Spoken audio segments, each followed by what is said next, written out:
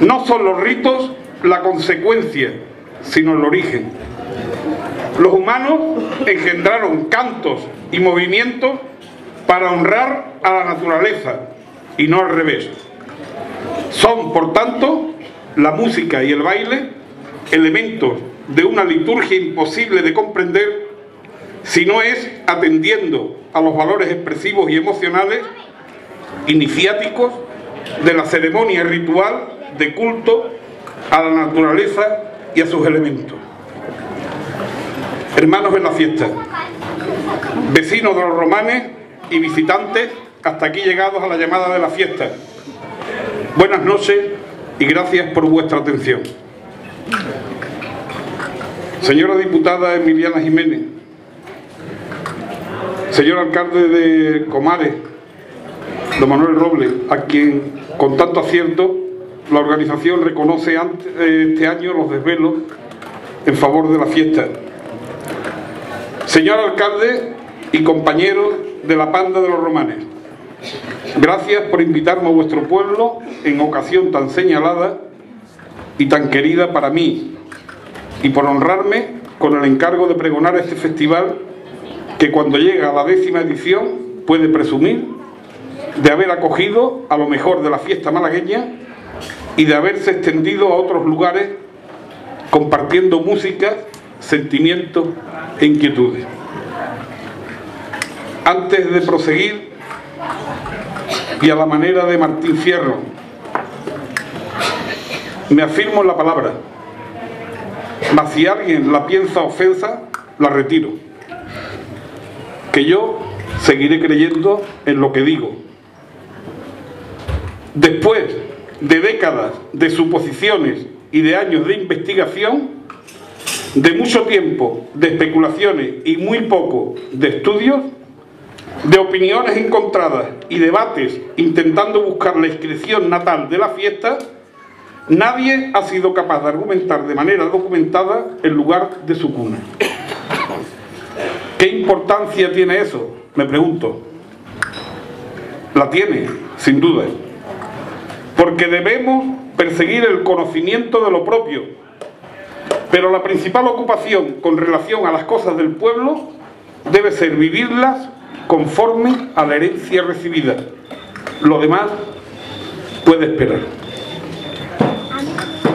No sabemos el lugar de nacimiento de la fiesta, repito, pero estoy por afirmar que si hay uno que puede reclamarse como tal, es el conformado por los pesos redondos y fértiles de la zarquía, donde sus moradores, tras el trabajo esforzado, titánico, de labrar las viñas en pendiente, al mismo tiempo que descansaban, sentían la necesidad de agradecer a la madre naturaleza que les permitiera vivir bajo el cielo más azul.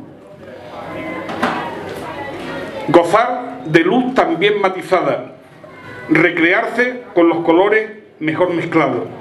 Y fueron así creando sonidos y movimientos conforme el líquido cordial, intenso y espiritual de la uva vernácula y efervescente les iba procurando el alborozo de cuerpos y de almas. Mas sea o no la patria de la fiesta, repito que a ese extremo, desde mi punto de vista, no hay que darle mayor importancia, ni importancia determinante, por tanto, esta tierra la adoptó desde hace tiempo y estableció con ella una intensa relación de maridaje igualitario en el que ambas se fueron intercambiando los elementos que le confieren singularidad.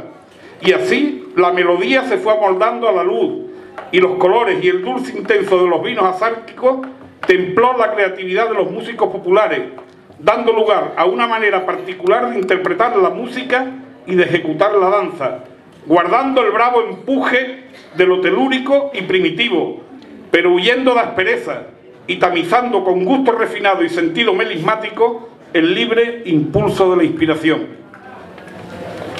Mejor, peor, antes, después, en tanto que términos de comparación no guardan fidelidad con el devenir histórico de la fiesta y debemos desterrarlos en favor de la relación fraternal entre quienes por ella hemos sido convocados.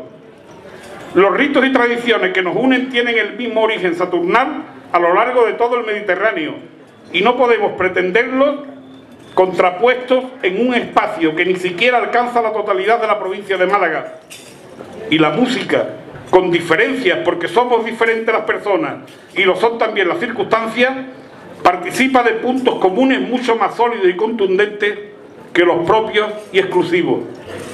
Si queremos cumplir el mandato no escrito, pero irrenunciable, de transmitir a las próximas generaciones, sin contaminar, robusto y saludable el capital festivo heredado de nuestros mayores, debemos huir de manifestaciones excluyentes y de establecer un orden jerárquico no justificado a la luz de la razón y del valor antropológico de la fiesta. Quiero decir que la diversidad y la variedad no deben ser nunca elementos de divergencia, sino las bases para la unidad, no por obligación, sino como la consecuencia lógica de admitir la, la pluralidad como un valor y nunca como un demérito. Hay tres maneras distintas de ejecutar la misma fiesta y en cada una de esas tres maneras hay decenas, cientos de modos diferentes de interpretar, tantos como fiesteros. Si persistimos en la intención de reclamar para uno de esos estilos de manera exclusiva la fidelidad al modelo tradicional de fiesta, el siguiente paso será aislar dentro del mismo estilo a quienes se conducen de acuerdo a cánones diferentes. Hermanos en la fiesta, amigos, no perdamos un solo minuto en discutir el orden prevalente de los estilos de la fiesta, ni la antigüedad de los mismos, ni la autenticidad, ni la fidelidad con no se sabe qué patrón interpretativo y ceremonial. Volquemos todas nuestras energías en revitalizar los usos y modos tradicionales, en preservar el patrimonio ritual, en retomar las relaciones fraternales de cuando la fiesta era entendida como instrumento de comunión entre iguales y no como elemento de división. Y entendamos que toda esa liturgia de convivencia y vínculos afectivos son los que dan sentido a la fiesta. Que sin ellos la fiesta pierde su razón de ser, la singularidad que le da carácter y se convierte en una manifestación anodina, repetitiva, tan estática que cabría en las vitrinas de un museo. Amigos, ¿no os parece que la competición no puede ser nunca con los demás, sino con nosotros mismos. ¿No pensáis que merece la pena intentar cada día no ser más fiestero que los demás, sino ser cada vez mejores fiesteros? ¿No creéis que el virtuosismo en la ejecución no puede suplantar ni sustituir a los valores personales? Hace tiempo escribí aquello de para ser un buen fiestero, primero hay que tener el alma de un caballero. ¿Y no pensáis que la lealtad con el legado ancestral de nuestros antepasados pasa por el respeto al otro y no por el enfrentamiento? Pues venga, manos a la obra, que no siempre se tiene la oportunidad de disfrutar de las ventajas de un escenario tan amable para la convivencia, tan indicado para el regocijo y tan propicio a la fiesta como la noche de primavera en los romanes. Aquí la gente está hecha de la misma tierra carnal y resistente de las lomas barrancosas y nunca es cortesía forzada su hospitalidad, sino ofrecimiento sincero. No hay mejor manera de agradecer tan cordial acogida que dejar nuestro fraternal mensaje de fiesta y de generosidad en estas lomas alfombradas de viñas y de olivos. Al principio de mi intervención Agradecí el encargo del alcalde y de la panda del lugar que me ha traído hoy a los romanes.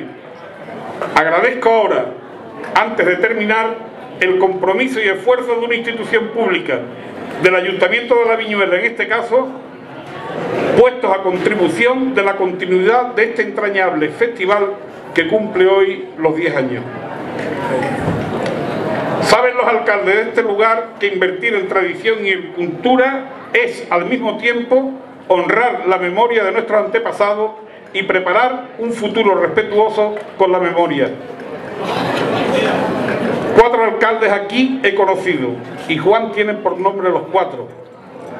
Juan García Clavero fue el primer alcalde del reciente periodo democrático y para favorecer la comodidad de sus vecinos inició una tarea formidable que prosiguió con éxito Juan Millán Jabalera, que dirigió un periodo de prosperidad y bienestar para la gente de la Viñuela y de los romanes y que ahora, a pesar de las dificultades, se esfuerza por mantener y mejorar José Juan Jiménez López. El cuarto alcalde, Juan García López, no presidió el ayuntamiento de la localidad, pero dirigió con acierto y entrañable autoridad un grupo de hombres y de mujeres que bajo el nombre de Panda de los Romanes son testimonio permanente de que en este lugar se respetan unas señas de identidad tan ennoblecidas como la raíz de los olivos que aquí producen uno de los mejores aceites del mundo. Hermanos en la fiesta, vecinos y visitantes, puesto que es nuestro deseo, la autoridad lo permite y la noche lo aconseja, arriba la fiesta.